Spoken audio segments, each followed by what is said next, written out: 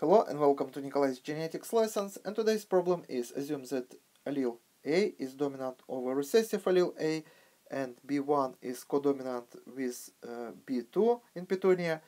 A cross is made between two individuals of the following genotypes assuming that there is no gene interaction. The progeny will segregate in a phenotypic ratio of and you have to choose the correct answer. As usual, I recommend you to pause video here, try to solve this problem on your own first, and when you would be ready, you can run video again and you can compare your answer with my answer and explanation. So let's first list again these genotypes that we cross. So parent 1 has genotype capital A, capital A, and capital B 1, capital B 2 and second parent is small a. Small a b1 b2 so we can say that uh, here we have parent 1 parent 2 and parent 1 can uh, produce following gametes. For example in a gamete we can find dominant allele A and allele B1. So A and B1. Another variant would be dominant allele A and B2. So A and B2. So parent 1 only can produce, as you see, these two variants of the alleles. As for the second parent, second parent can produce uh, one type of allele that is going to be small a and b1 and another type would be small a and b2 so small a and b2 now let's build simple Punnett square and find the genotypes phenotypes of the progeny. So here in the first cell, genotype would be capital A small a and B1 B1. Here we have capital A small a and B1 B2. Here we have capital A small a and B1 B2 and here we have capital A small a and B2 B2 B2 B2 now let's uh, think about uh, phenotypes. So here we listed our genotypes and this time let's say we have here two traits.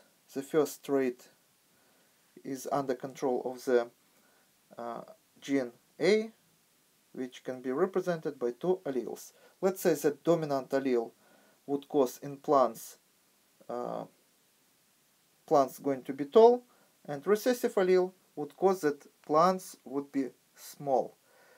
So, as you see, if we take a look at the progeny, 100% of the progeny going to be heterozygous, so would manifest uh, dominant phenotype. So 100% of all the progeny would be tall plants.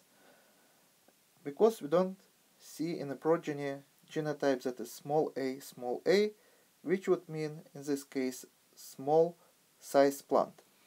So now let's think about second trait, uh, which can be uh, produced by um, gene B and we also have two variants B1 and B2 and we also told that these two alleles B1 and B2 are codominant. Again, what codominant means? For example, if we have uh, say B1 allele would cause uh, flowers to be red then genotype B1, B1 would make flowers that is going to be completely red. If allele B2 and genotype B2, B2 would cause that flowers going to be say yellow, then this genotype would produce completely yellow flowers.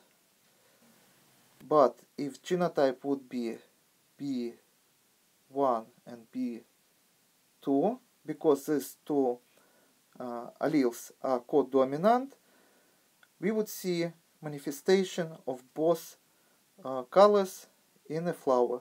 So we would see patches of red and also patches of yellow. This is going to be our flower that would manifest both colors. So now let's analyze what we see here.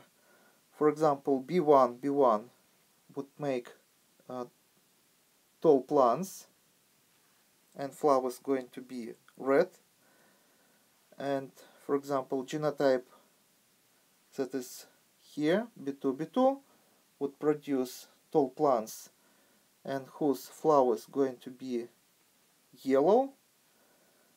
And genotype which is here would produce tall plants and flowers going to be red and yellow. So red and yellow.